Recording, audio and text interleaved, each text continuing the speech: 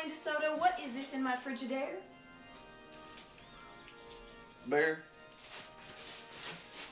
I don't care what you do in your refrigerator, but you will not keep liquor in mine.